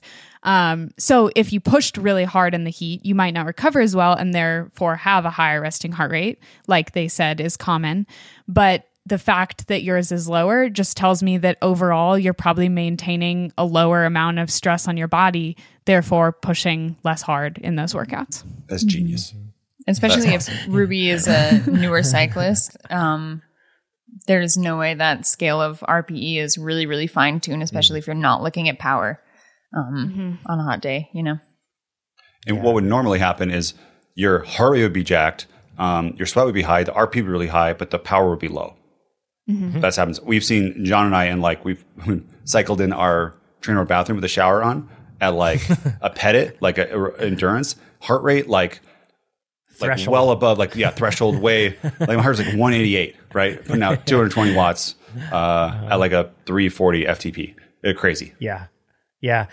Uh, I think that's also the most likely answer for that. Um, if we step back and think about it, your heart is a muscle, and it's easy to forget that. Like we know that blood is pumped to our muscles, and it's pumped to our muscles, and then it can deliver, can remove byproducts, deliver oxygen, right? But blood is also used to cool the body, and the way that it does this is it goes to the skin, right? Um, the closer it can get to the skin, the more heat it can shed to the outside environment. Um, so even though I think that the theory that was put out there first is absolutely, I think, the most influential one, I want to go through like some ones that could be possible, but probably not likely. Um, number one, dehydration. And I don't think it's likely because this one can kind of go both ways. But remember that your heart's a muscle. So, like, dehydration almost always increases your heart rate because your heart has to work harder to pump less fluid um, around. You lose plasma volume as you become dehydrated, and, and that just is what happens. Blood even gets thicker, right? And so, thusly, your heart has to work harder, um, could cause more fatigue. And that's just it. If your heart is a muscle, uh, theoretically, you know, it could be experiencing more fatigue and could be limited just by the fact that you don't have as much fluid. So it's pumping as hard as it can, but just by the fact that you are, you know, this would probably be pretty extreme levels of dehydration. Your heart's capacity, just like your muscles' capacity, could be limited by that. So that could be affecting it, but I don't think that's likely the main case. The other one is like the thermal regulation side and also decreased oxygen side of things too. I mean, if more blood flow is being sent to the skin to cool it off, and that's more of a focus for things rather than just going directly to the muscles, then perhaps you have less available to help the muscles work harder. Um, all these things are likely increasing just to the fact that like Hannah, you said you're not pushing hard. You're probably pushing very hard. You're just not working, doing as much work, mm-hmm. Mm-hmm. and your work rate's limited. So it could be limited because of those things, but in the end, uh, that's really what we're talking about. Like Nate and I said, when we were with a heater and the shower on, and it was like over 100 degrees and crazy humid, your body is just distracted. It can't just devote all resources into pushing the muscles. And your heart being one of those muscles, the faster it can beat, the more you know, the more work's being done by it. So it could be capped that way too. Um, but I looked through so much like so many papers trying to find stuff and look through reviews and then look through all the references on like reviews. And I tried to find anything and nothing shows that there is decreased heart rate outside of conditions like dehydration outside of conditions like you know where people are ill or in other ways like you know chronically fatigued. That's when they, you can see like a depressed heart rate. It just simply can't go higher. Um, but there's nothing that shows heat directly causing this outside of the because in most cases studies are operating at a specific work rate the studies are like athletes rode at this many watts and then this is what happened mm-hmm. um, so that's I'll i think th- why there's a lack of evidence for it i'll throw out one more theory that i don't think is probably it but it's just something to consider is um, a lot of the time when it is super duper hot i'll ride really early if it's an important ride where i need to hit those mm-hmm. numbers mm-hmm. and in the morning um, like we're talking really early, 5, 6 a.m., uh, I my heart rate is 10 beats lower. And again, it's a muscle. Your heart has to warm up as well.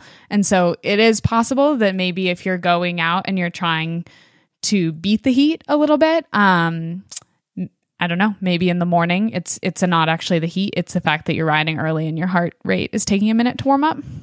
This is it's I'm glad you mentioned that because that's absolutely my experience too. And I wonder how many people misattribute fasted training because they train early in the mornings when they do fasted training.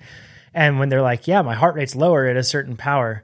But like when I wake up, I'm 10 beats lower, just like mm-hmm. you. 10 to 15 beats lower is like what I see, which is pretty crazy. Um, mm-hmm. But that's just my body's not ready to work yet. Even though I'm making it work, it's like, come yeah. on, you know? yeah, it doesn't want to do it. Uh, okay, Ryan's question. Thanks for the podcast. It's one of my favorite things to listen to during these indoor training sessions. I have a question regarding my endurance as I can't understand what's going on. My most recent FTP test, and we should clarify, Ryan does not have a TrainerRoad, doesn't use TrainerRoad to train. Ryan does have a TrainerRoad account. So I assume to just like view data and do that sort of stuff, Ryan. Maybe you signed up just so that we could look at your account to do that. I commend you if so. Thank you for making your data available uh, so that I could look into this. But Ryan, when he says FTP test, this is not using TrainerRoad. This is just a test that he took. My most recent FTP test gave me a new PB of 353 watts. That's big power, um, which I'm very happy with. And this proved to be an effective number when to base my shorter interval sessions um, for power targets, uh, such as VO2 and things like anaerobic efforts. However, I seem to have a major problem with my endurance that I cannot seem to improve on. When doing longer rides, like two hours plus, it's not uncommon for me to struggle uh, to hold even 200 watts despite this relatively high FTP. I find my heart rate goes through the roof and I seemingly have nothing in my legs to put the power out. I'm very confident this is not a fueling issue, as this is still the case even when taking in over 100 grams of carbs per hour. Can somebody please help me try to understand what the heck is going on? Regards from Ryan. We can try, Ryan, but we might not know everything. Um, like, you know, uh, but based on the information that we have, we can go with that. I want to uh, I, I, go ahead, Ivy, you first.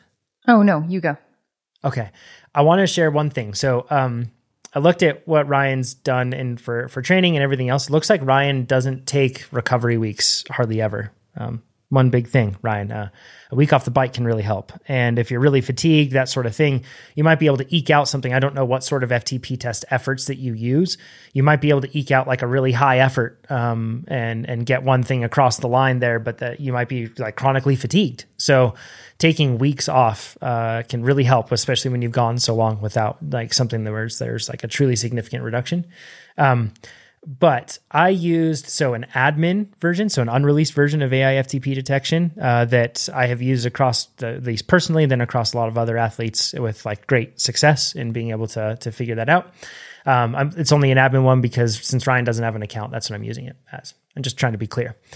Ryan, when he said that he got a 353 FTP, it was it was suggesting that he would have a 329 FTP, and that's a huge difference, like substantial difference. Um, when we're talking, you know, t- over 20 watts difference at that level, it's pretty darn big. Um, so this is what uh, this is kind of why we designed AI FTP detection to be like to take care of. There's some people that are quote over testers, where like they can really like really push an effort while there are many people that are under testers, right? Where they just can't. And I've been on both sides of the fence at different times in my cycling uh, experience, where like sometimes I'm I can over uh, uh, perform and underperform, and this is why we did it. So you don't have to worry about that and like base everything off of one effort on one day.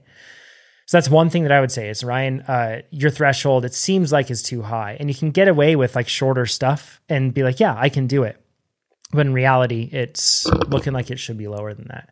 The um, um, John would jump in here. So what, mm-hmm. what what's probably happening with Ryan is he has a very high anaerobic work capacity, and Pete, uh, old podcast, probably he's an example of that too. Um, probably the biggest difference I've ever seen someone do, have that happen, where meaning that uh, his anaerobic energy system is proportionate to his aerobic energy system, much much much stronger. So in these VO2 max and um, anaerobic work capacity stuff, he is having a lot more of that system work, and he's not having the impact on his um, his aerobic system as much. And it's kind of like taking over. And so if someone is VO2 max, especially if he's doing like on offs or something like that, it, he might not really be stressing his VO2 max system as much. That paired with maybe um, training a bunch, having uh, maybe chronically low glycogen, like where at the longer stuff he kind of fades off. Just because you did 100 grams per hour does not mean you came in fueled, right? Like if you didn't come in stocked, you do 100 grams per hour, it's going to go really fast, especially with uh, even even at 200 watts, and that is. And it takes time also, for that to, to like you know if he's doing like an hour long workout and he's coming in under fueled, but then he starts taking in 100 grams and he starts the ride, you're going to get that benefit toward the end of the ride, but you're not going to have it for the majority of it. And back in the day, uh, before adaptive training, we would get some flack about having you know things based on just FTP and having our VO2 max intervals be a percentage of that. And uh, you know we, we, built it for a bell curve of people to work, and then we we knew that and we improved on it, and that's why we have progression levels where um, if Ryan were to use TrainerRoad, he could have the FTP of let's say you put him at 329, and maybe his uh, anaerobic level would be a seven, but his endurance level could be a two and that what what that would do is um, make sure that his anaerobic was at the right level, but also it would it, would, it detaches it from FTP, and he would see where his weakness is. He could see that the relationship between those two are lower, and it would train him through there appropriately. Because I mean, I don't know why the 200 watts seems like a a real like something else is going on there, but mm-hmm. um, train him progressively through that system in order to bring up the um, his aerobic energy system to be closer to his like how good he is with anaerobic, so the the gap isn't that big. But also Ryan just raced crits. Like you're gonna win. this is crazy. Uh, yeah, yeah. Ivy, what are your thoughts on this? Um, oh yeah, I mean, um, Nate said exactly what I was gonna say about this. Ryan probably being an anaerobic rider, um, because I very much am, and I know that when I'm kind of over setting my power targets with a higher FTP than what it should be. Um, the way, the place where I feel it is in that endurance zone when my target kind of dips up into tempo.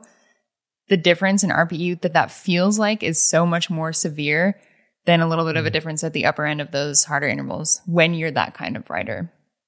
So I do think there are probably some, you know, yeah. things like chronic fatigue that are making just riding in endurance feel really tough. But I, I do think that Ryan's probably a more anaerobic rider, and that's what they're experiencing. Mm. Hannah, your thoughts? Yeah, I mean, I I completely agree with everything that's been said, and I feel like I've looked at this and tried to think of all kinds of really uh nice things to be able to articulate why he um, why Ryan can't hold 200 watts. But I think the bottom line is you need to improve your endurance and you need to improve your aerobic capacity. I don't think it's anything complicated. Exactly. There's a reason that FTP is measured by aerobic efforts eight minutes, uh, 20 minutes, ramp tests, 30 minutes, an hour. If we could measure FTP based on a three minute VO2 effort and a percentage of that, we would all do it. It would be so much easier to test. Um, and so it just goes to show that that energy system is very different than the aerobic system. And I think you have some work to do in the aerobic system. And that's okay. It just takes time. We all have our different strengths and this look and you have identified your strength and i think in this question you identify your weakness and that's fine so you can go work on it now even yeah. the 20 minute test can be impacted by anaerobic work capacity for sure. Um, mm-hmm. oh, but yeah. I mean, it's totally. just, it's like, as Hannah said, it's like a sliding scale. The longer you go, mm-hmm. um, the less impact it will have, but also then the more impact motivation has because it's really, really hard to hold 60 minutes of your FTP for an hour. Um, that's up there with Leadville. More yeah. more minutes of uh, potential things to go wrong and interfere right? Like mm-hmm. that's like a tricky part with it. I, I, think that you're probably a bit of an example of like a self-fulfilling prophecy here ryan where like you do really good at this anaerobic stuff. So you're like i'm an anaerobic rider and you just train that more often than a normal rider would and you even probably do it subconsciously. Like when you go out and ride you probably surge and punch and rather than hold things steady. Um, that's like what I recognize with athletes that have really high AWC, like Nate mentioned. They tend to use it a lot and they don't rely on what they don't have. So that can really pigeonhole you and put you in a spot where, yeah, you've neglected that. So, um, yeah, just uh, working on that. So, practically, what that might look like is uh, if you don't have any races coming up, Ryan, you could just throw on like a base plan or two and do a lot of base work for a while. You could do one of the polarized base plans that will it'll still have you doing those like harder it'll have you doing threshold workouts instead of those really short VO2 workouts. So that could probably be good for you. And then it'll also have you doing the endurance work. Um, you could do sweet spot base, is that will be pushing you away from doing the um, the higher stuff, and it'll have you doing stuff that's going to be closer to where you need to work on. So um, you don't just have to ride at 200 watts to improve your ability to ride at 200 watts, like we've all talked mm-hmm. about. It's about improving your aerobic capacity and your aerobic fitness, I should say. And by doing that, what we're really talking about is um, there's lots of ways to to take care of that. So you don't just have to ride at 200 watts. And for points of reference, at 329 watts, which is what it said your FTP would be, you know you're you're looking at anywhere from like 190 up to 230 mm-hmm. watts being quote your Z2 mm-hmm. um, not polarized Z2 but 7 model or 7 zone model Z2 so that's where you'd be looking at. Um, so you'll get there and you'll get to the point where you can hold that as long as you work at it. It's basically that simple. So uh, I think we should cut it there. This is a long one. Um, but awesome questions. Everyone that submitted them you can do it at trainerroad.com slash podcast. It's great that you do that you can sign up for TrainerRoad. Like Hannah said, uh, testing is hard. Just use AI FTP detection instead. You never have to test. It's so darn cool. It's giving me way, way, way, way, way better training. And all the athletes that I talk to, they love it. So give it a shot. Uh, go sign up and go follow Hannah and cheer for Hannah. Uh, if you're going to be at Leadville, have a great race at Leadville and support her along the way. Super exciting. Good luck, Hannah. Thanks so much. Good luck. Yeah. Ivy, when, are you going to put your name for the lottery? No. yeah, Yeah, sure, Nate. I'll do All it right, if you and do I- it. Okay. Nate and I will crew for you. How about that? oh be my there. gosh. And I'll have a cooler this time instead of hot Maurten. I promise. Ivy, let's agree that if that we'll only do it if we both do it. Oh, okay. Yeah, oh my gosh. it. We're not doing it. Like so, I mean, there's no chance I'm doing that. So no chance Ivy's doing it. Oh man. I thought that, that would mean that you would like commit to putting your names in the lottery or something at least. Yeah, I did too. No, I, I mean, that's what I'm saying. If we put our names in the lottery and we both are uh, Oh. get in, and Nate does it, I'll do it. Tandem.